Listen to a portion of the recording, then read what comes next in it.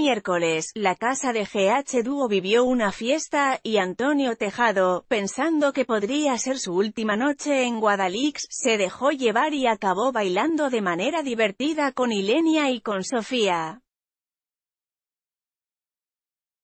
Un gesto que no sentó bien a su pareja de concurso Candela, quizá por celos, y que quedaba patente a través de su serio rostro y cómo le miraba desde lejos.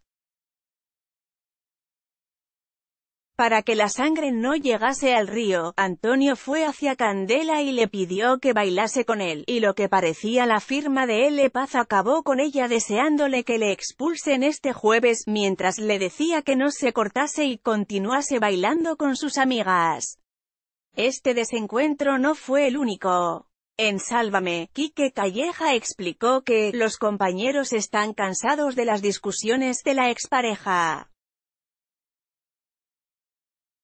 Además, explicó que Candela había llorado esa mañana y se había encerrado en el baño para que sus compañeros no la viesen así, algo que sentó mal a Tejado, que le dijo que jamás le volvería a dejar su hombro para llorar.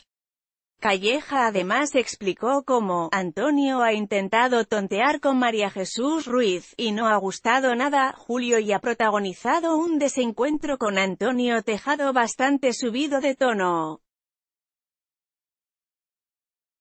Además, de manera velada, por la casa reprochan a Antonio su falta de discreción, pues Tejado habría dicho que ha mantenido relaciones sexuales con Candela dentro de la casa, y los demás han considerado esto como una falta de respeto.